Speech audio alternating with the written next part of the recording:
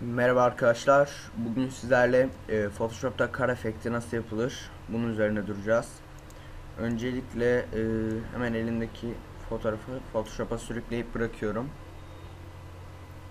İçinde yeşillerin bol miktarda olduğu bir fotoğraf. E, hemen klasik olarak bu katmanımın bir kopyasını alıyorum. Bu şekilde. Daha sonra katmanım seçilirken daha önce de model seçimlerinde kullandığımız bir yöntem vardı hatırlarsanız. Buradan seç, renk aralığı diyorum arkadaşlar. Buradan yeşilin bir tonunu seçiyorum. Bu şekilde hızlı maskeli kalabilir. Ee, şu şekilde bakalım ya da böyle kalsın. Tamam. Ee, sadece yeşillerin seçili olduğundan emin olalım arkadaşlar. Bu şekilde onaylıyorum. Kabul ettim. Şimdi bunu hemen yeni bir katman olarak atalım. Şu şekilde bir görüntü oluştu arkadaşlar. Bu görüntümüzün üstüne de çok basit bir şekilde e, buradan ton ve doygunluk oluşturuyoruz. Açıklık kısmını %100 yapıyoruz arkadaşlar.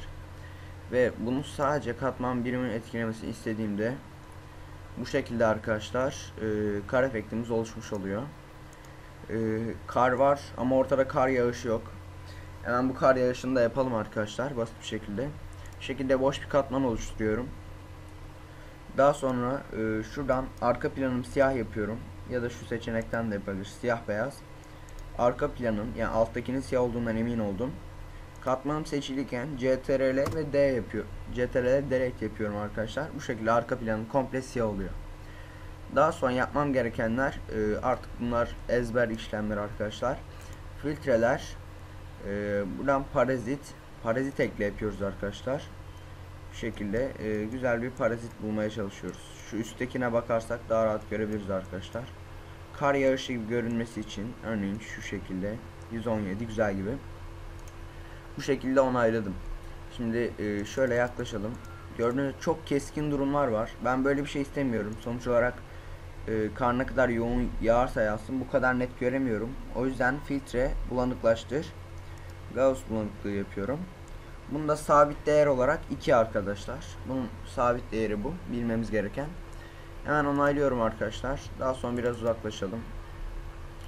Buradan filtrelere tekrar geliyorum. Yine aynı katmanım seçili. E, filtrelere geldim. Bu sefer bulanıklaştır. Hareket bulanıklığı yapıyoruz. Ve açımızı buradan ayarlıyoruz arkadaşlar. Nasıl istiyorsak şu şekilde olabilir. Uzaklık. Bunu da istediğiniz gibi ayarlayabilirsiniz. Şöyle 5 güzel gibi. Açı da bu şekilde kalıyor. Daha sonra yapmamız gerekenler bu katmanım seçiliyken buradan e, ekranı seçiyorum arkadaşlar. Bu şekilde resmi uzaklaştırdığım zaman daha net göreceksiniz. Bu şekilde bakın arkadaşlar. E, kar yağıyor gibi ekranda biraz hem e, sis gibi bir efekt oluştu. Bu şekilde öncesi sonrası yapalım. Şu kar yağışını da göstereyim. Evet bu şekilde. İsterseniz sadece böyle kar da yapabilirsiniz. Biraz saçma olur ama size kalmış. Ve e, şimdi şunun üzerinde de kısaca durmaya çalışayım arkadaşlar. E, kar yağdığı zaman arka plan bu şekilde kaldı. Bunun üzerine ben fırçalarımdan e, daha önceki videomda nasıl fırça ekleyeceğimi göstermiştim. Bu yüzden bu kısmı atlıyorum. E, evet boş bir katman oluşturdum yine. Fırçalarımdan beyaz rengini seçilirken buraya birazcık bulut atalım. Şu şekil. Bir tane daha olması lazım. Farklı bir çeşit. Çeşit olsun. Şöyle. Buraya da bulut ekledim. Arka planımın e, biraz daha belki koyu olmasını istiyorum. Bununla nasıl oluşturuyorum? Bunu da yine önceden anlatmıştım arkadaşlar. Şu şekilde hemen katman oluş e, efektler kısmından buradan e, eğriler oluşturuyoruz. Eğrilerimizi şu şekilde e, maksimum değeri alalım. Pardon. Minimum değeri alıyoruz. Ya da nasıl olmasını istiyorsak. Şu şekilde iyidir.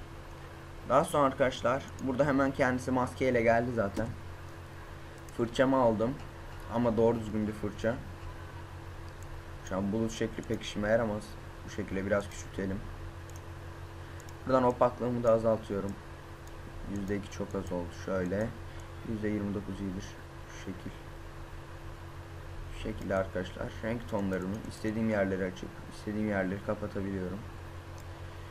Ee, burada şöyle bir işlem yapabilirim arkadaşlar. Şuraları %100 yapmamız lazım.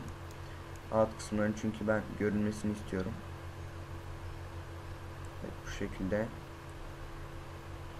Şimdi ayarlardan opaklığını biraz düşürelim şu e, renk tonlarını ve şimdi güzel görmesini istediğim yerleri biraz daha koyu yapabilirim. Tamamen sizin elinizde arkadaşlar. İstediğiniz yerleri koyu, istediğiniz yerleri açık yapabilirsiniz. Bak şunun altı biraz daha koyu olabilir. Sanki gölgesi var gibi. Şurayı açalım. Evet, bu şekilde arkadaşlar. Öncesi ve sonrası yapabiliriz. Ee, nasıl isterseniz arkadaşlar bu yöntemle e, bu şekilde yuvarlak objelerin altını yani gölgesi elinizle çizebileceğiniz şekilde olanların altlarına gölgelendirme efekti de yapabilirsiniz. Ee, yine buradan katmanımın e, eğriler katmanımın istediğim şekilde ayarlarıyla da oynayabilirim. Şu şekilde. Evet, böyle daha iyi. Hem göz damlıyor. Evet bu şekilde arkadaşlar kar efektini basit bir şekilde oluşturduk. Arkadaşlar e, lütfen videoya yorum yapmayı, beğenmeyi veya e, beğenmemeyi orası size kalmış. Abone olmayı unutmayın. E, desteklerinizle kanalı daha çok video yüklemeye çalışıyorum arkadaşlar. İyi çalışmalar diliyorum.